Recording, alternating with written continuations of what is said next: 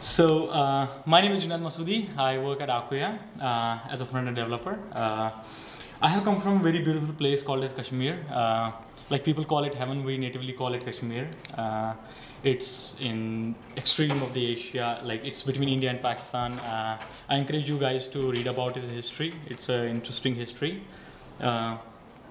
my inspiration and aspirations are inclined towards UX and accessibility lately.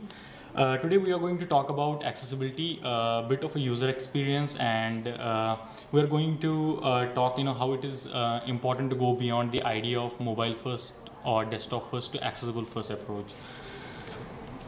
So uh, the journey of my accessibility learning goes down to my very first accessibility project, which was Amazon Whole Foods. They were already on the Drupal system, but uh, they were not complying the uh, WCAG 2.0 uh, guidelines. Uh, now we have 2.1 in place as well, but 2. Will, uh, 2.0 recommendations will continue to run until December this year. So uh, when we talk of accessibility, one of the prominent definitions of accessibility that is it enables people with disabilities to perceive, understand, navigate, interact with, and contribute to the web. Since accessibility is a broader spectrum, uh, we will keep it to uh, web accessibility here. But uh, I believe that there is uh, some more to this definition. I don't believe that accessibility is just an enablement. It's a practice. It's it's a it's a practice of building. So uh, I can go with this definition, uh, which says that uh, it's a practice of building digital content and applications that can be used by a wide range of people including individuals who have visual motor auditory speech or cognitive disabilities.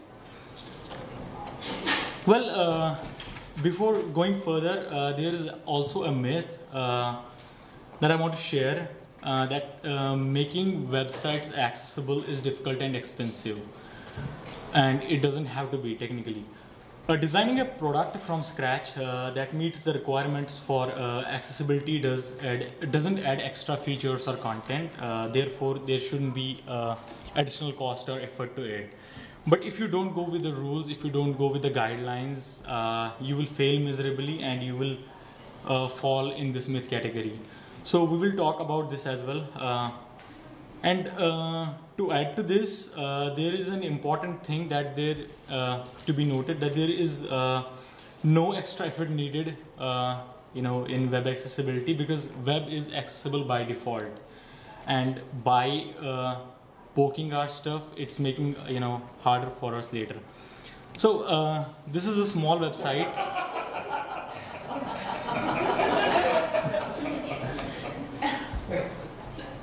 there's uh, okay. So this website is enabled it's it's accessible by default. Uh, they haven't done any extra work on the website. It's a small uh, website even smaller than a google page uh, which renders just text. So uh, adding to my question that web is accessible by default.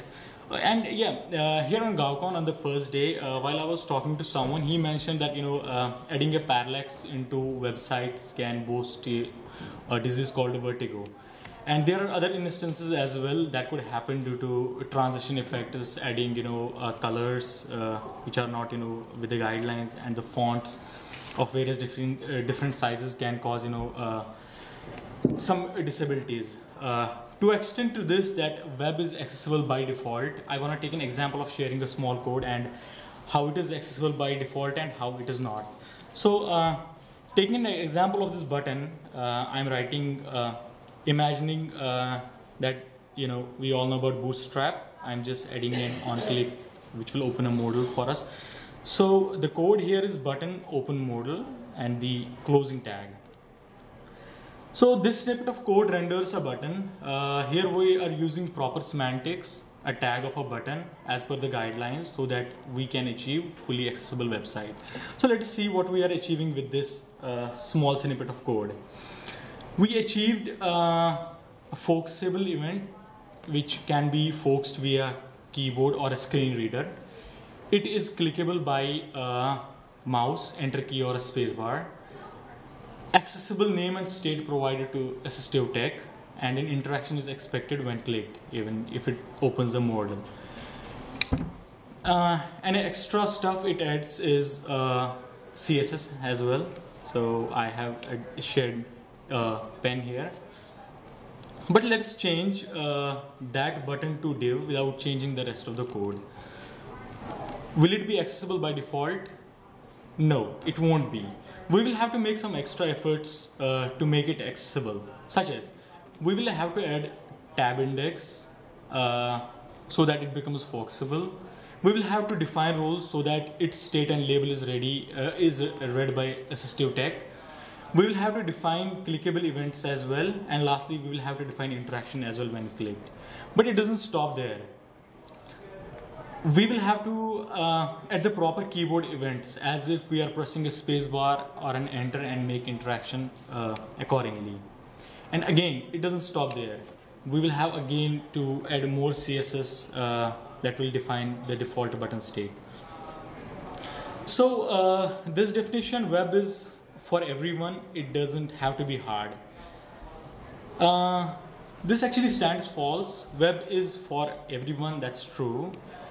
Uh, it doesn't have to be hard because it is not hard. So yeah.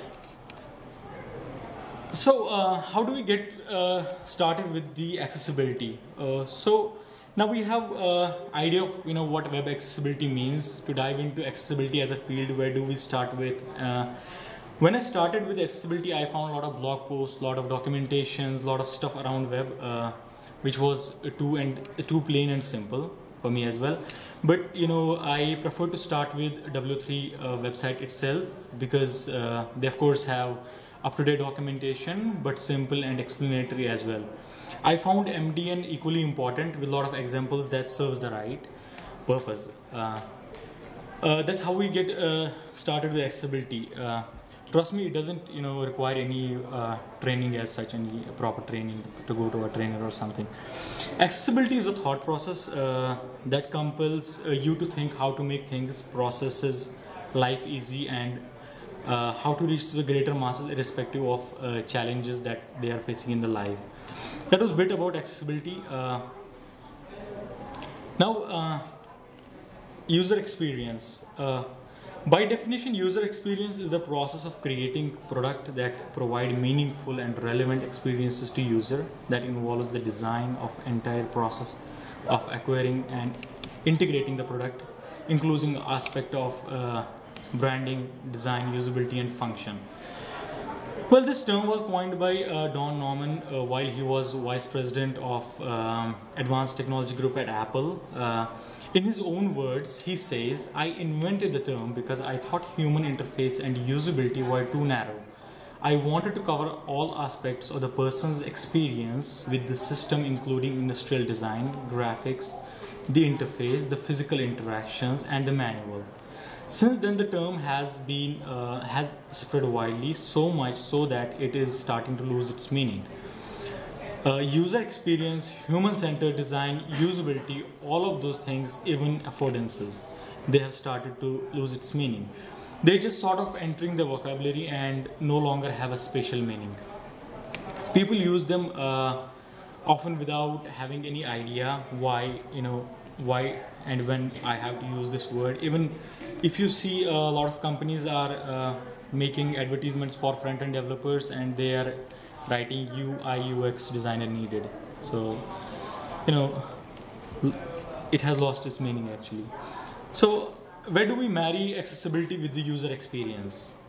Fixing a site that is already inaccessible uh, may require some uh, extra effort and thought. Uh, when we started on Whole Foods website, we started uh, checking with the WebAIM plugin that comes for I think every browser. We started on Chrome uh, to check the errors and some screen readers as well. For Mac, uh, there is a default screen reader, but uh, for Windows, JAWS uh, is one of the prominent and promising screen readers. It looked like uh, Whole Foods is a lot of mess, and we need to do enormous work. It sounded complicated, but we discovered that these problems were not that too hard to correct. It is just a matter of uh, investing time and research to follow them. Uh, we were able to get to zero results in a couple of days. Uh, I want to share you uh, with you some of the simple steps we took uh, so that you know you can also make your sites accessible. Uh, these principles will be lying around user experience. accessibility comes in two parts. One is you know writing a proper code it doesn't take you know extra effort. But yeah designing takes extra effort. When you're designing a, when you're designing a site from scratch uh, which is accessible by default you have to keep two things in mind. It's not just the code that needs to be accessible by default. It's the design itself that needs to be accessible by default as well.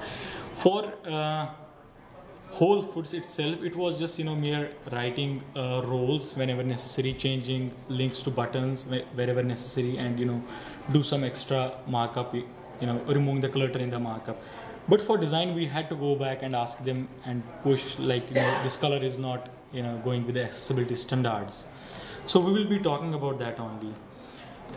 Uh, before uh, we talk about those principles. Uh, there is an important question that is why designing for accessibility as designers have the power and responsibility to make sure that everyone has access to what they create regardless of ability con- context or situation the great thing about making the work accessible is that it brings a better experience to everyone um, there are some statistics like you know, uh, 56 million people in United States. That is like uh, one in five people, uh, one in five, uh, and around one billion uh, people worldwide who have disability. In 2017, there were 814 website accessibility lawsuits filed in U.S. courts. These two pieces of data alone uh, should convince us, you know, about the importance of designing for accessibility. Uh, there is also a strong business case for accessibility. Uh, that is, it is SEO friendly, uh, have faster download times, uh, they have better search results, and they encourage good coding practices, and they have been always better for usability as well. Uh, some of the guidelines that I added here uh, are relatively easy to implement and can help your products get closer to meet level AA of the web content accessibility guidelines and work on the uh, most commonly use, used assistive technologies including screen readers, screen magnifiers, speech recognition tools. So uh, the first one is uh, adding enough contrast. Uh, color contrast is often overlooked uh, web accessibility problem. Uh, I think it's almost in 82% sites worldwide. So people who have low vision could find it uh, difficult to read text for a background color uh, if it has a low contrast. In a fact sheet uh, on visual impairment and blindness, the World Health Organization estimated that there are about 217 billion who have moderate to severe vision impairment.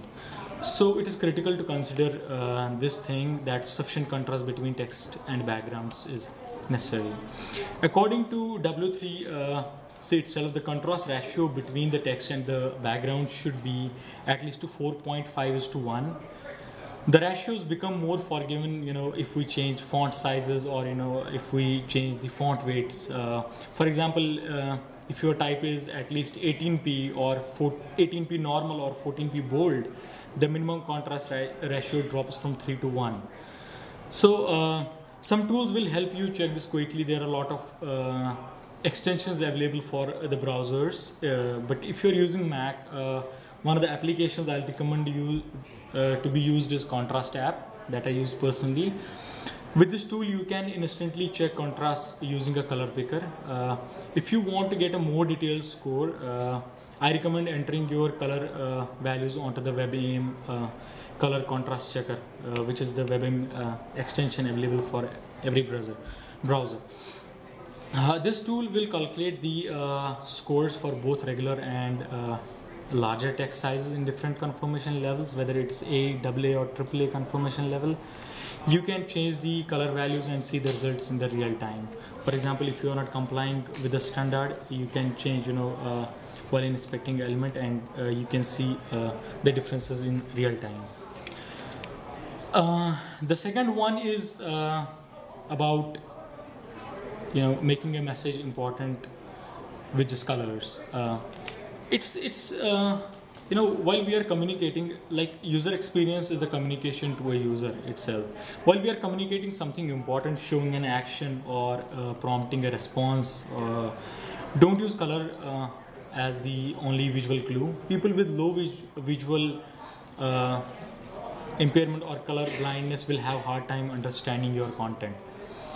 Try to use an indicator uh, other than colors such as text label or patterns uh, when solving errors on screen uh, don't rely on colored texts.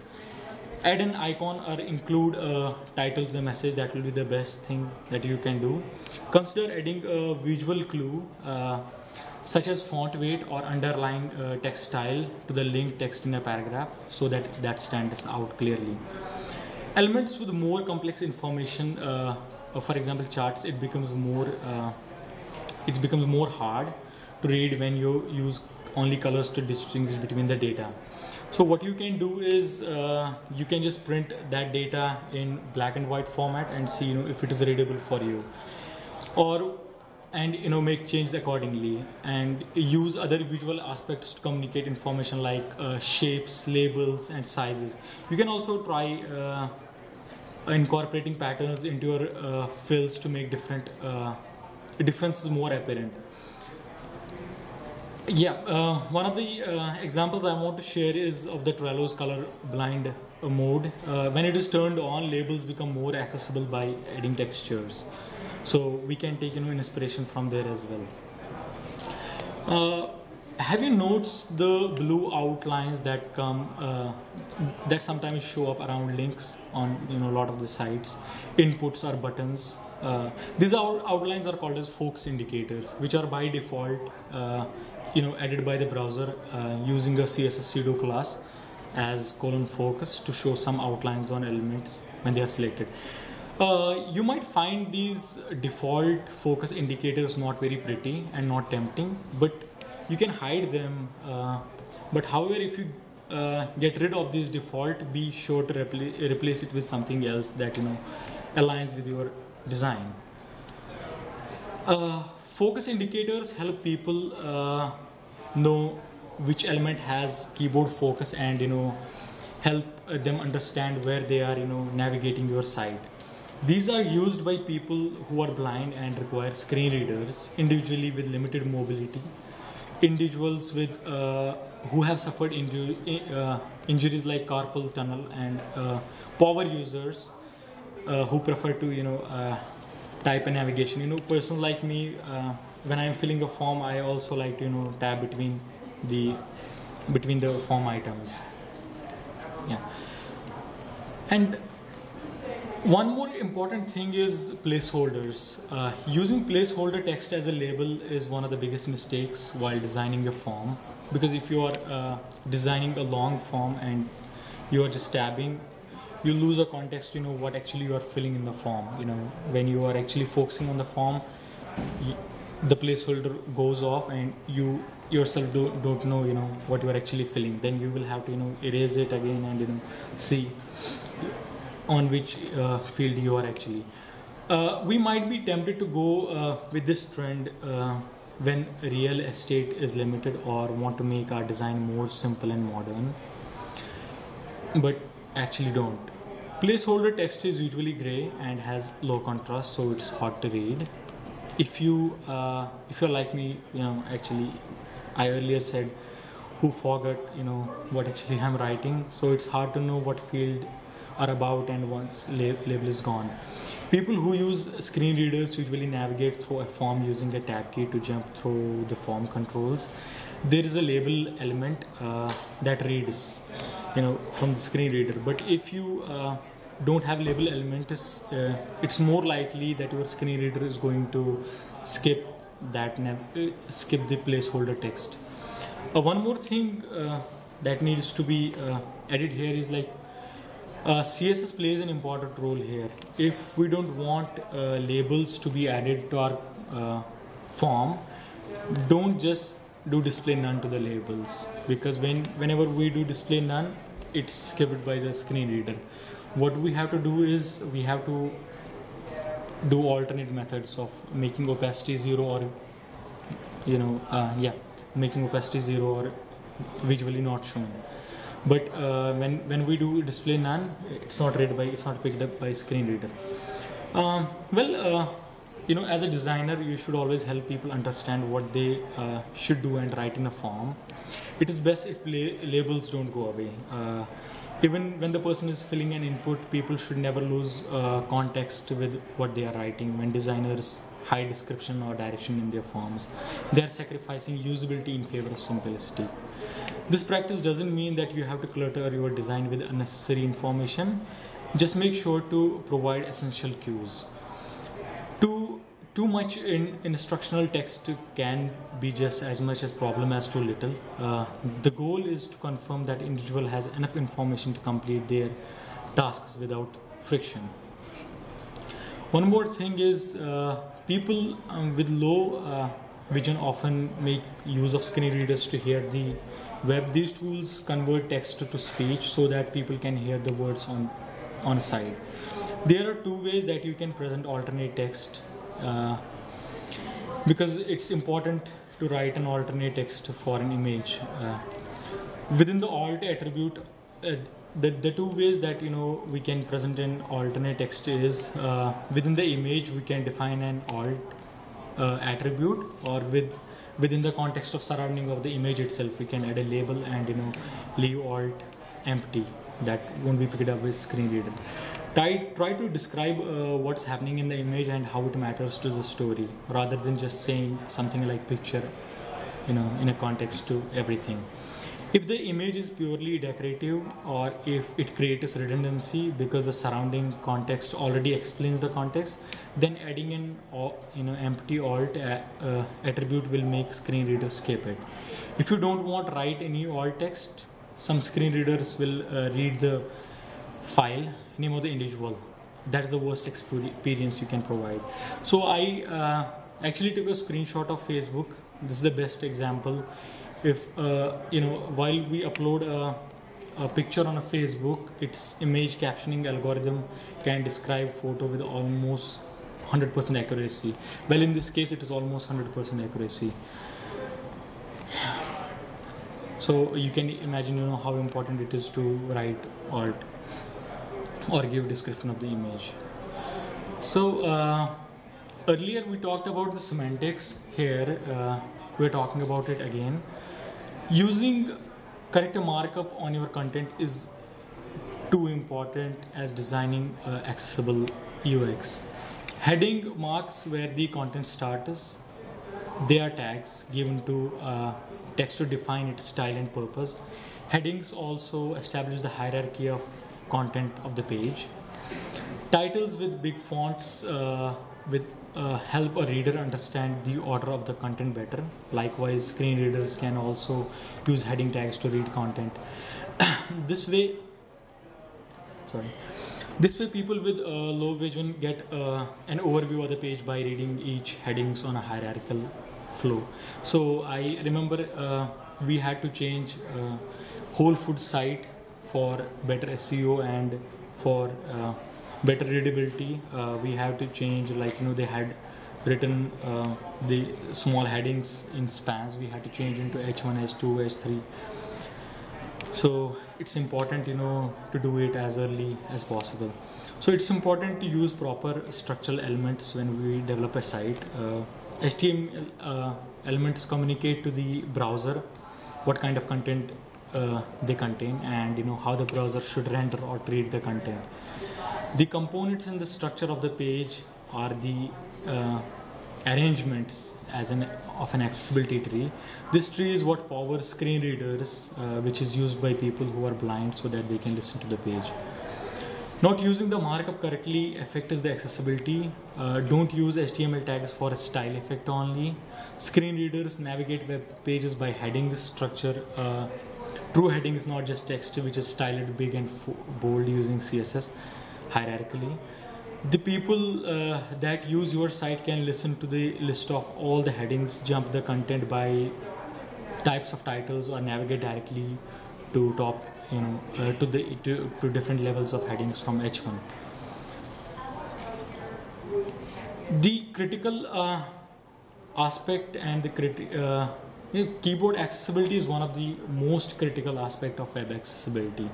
People with motor disabilities, blind people that rely on screen readers, uh, people that don't have precise muscle control, and even power users are dependent on the keyboard to navigate the content.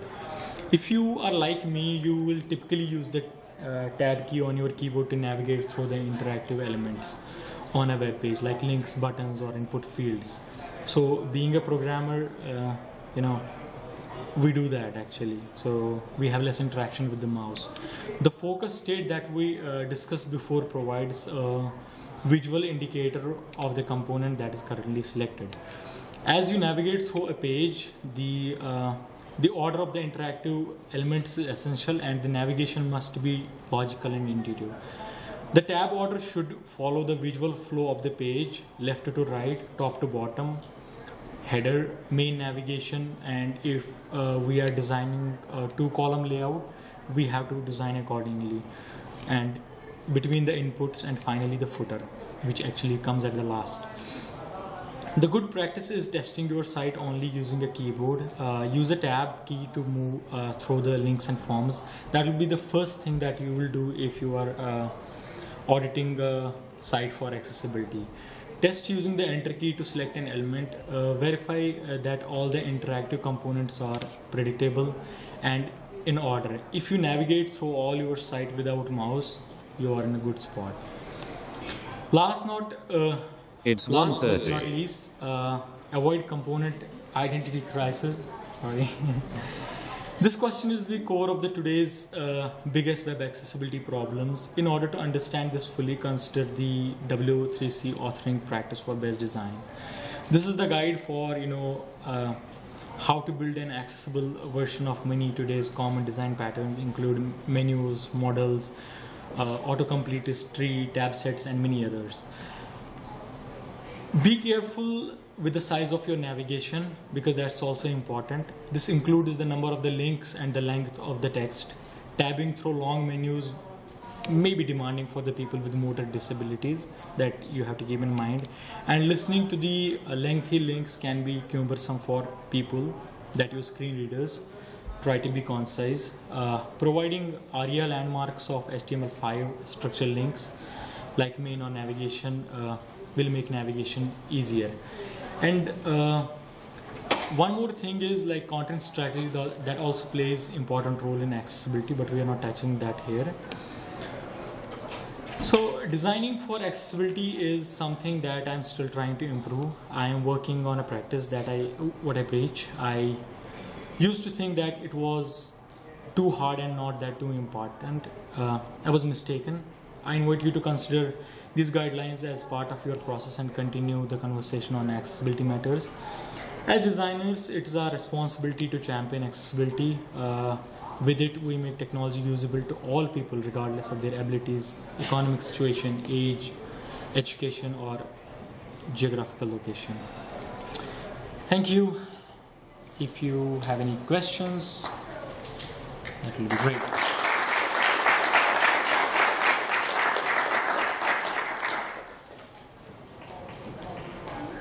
Any questions? Yeah. Sorry? Yeah, uh, I will post it on the uh, on the government site itself. So there is an option. Yeah. Yep. So. How do you get your team to be excited about accessibility? Like, let school districts need to take them and make them actually, maybe with a live person that has the need for more accessibility. How do you stimulate that type of interest? So can you repeat it again because it wasn't audible?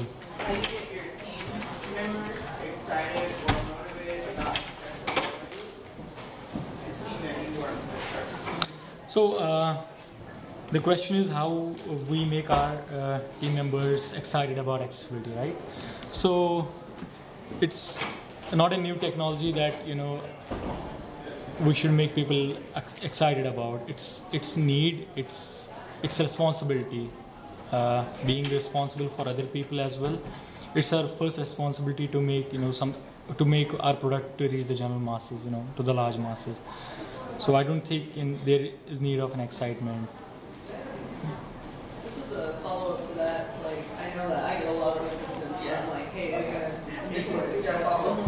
Uh, one of the things that I do, you know, we understand accessibility as far as people in wheelchairs need this, and it's, we don't think about how we will eventually need it at some point in our lives, either permanently Uh, sometimes I take videos of people trying to use our sites that are not working in an accessible fashion, and then when they're actually seeing how the clunkiness makes people falter, then they're like, oh crap, we gotta fix this. Like it takes a hit to the vibe sometimes. True.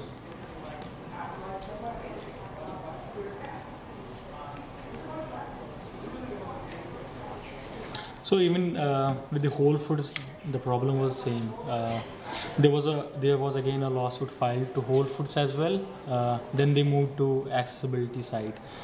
Uh, before that, they were not you know uh, being a big corporate. They were not you know uh, inclined towards accessibility. But I think uh, that should be the first approach.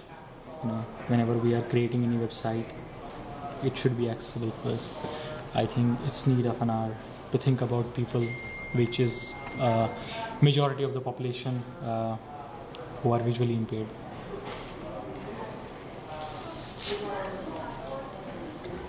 Any questions? Further questions? Thank you. I think we're good.